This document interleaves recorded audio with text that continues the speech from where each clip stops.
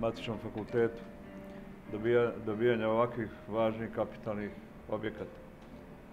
A kada se rodila ideja, niko nije oklijevao u Republike Srpskoj da to podrži i mislim da je to važno za ne samo studente, ne samo profesore, nego za čitav kulturni život e, Banja Luke, odnosno ovoga studentskog centra.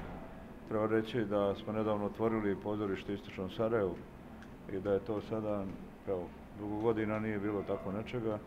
Sada dobijamo i ovaj objekat, dobijamo mogućnost za sve ono što su imali prethodnici govorili, sada ja ne govorim.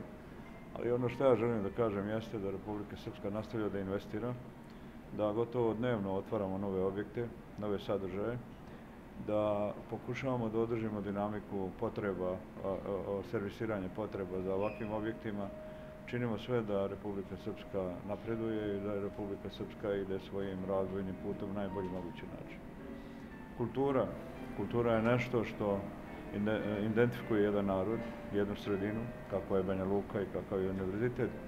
I zato treba ulagati u sve to daleko više nešto smo to činili u prošlosti sigurno, da ovo izgradnja ovog objekta nije kraj tih investicija i podrški radnim projektima koje ćemo gledati. E, veoma je to važno zato što e, oni će reprezentovati na mnogim scenama širom regiona, pa čak i svijeta, Republiku Srpsku, naša dostignuća. Samo prije 10-15 godina to nije bilo moguće, nije bilo ni matičnog fakulteta ili nešto prije. E, ovo je sveobuhvatan pristup koji imamo i zato se radujem i večera sam ovdje da svima čestitam ovako divno zdanje.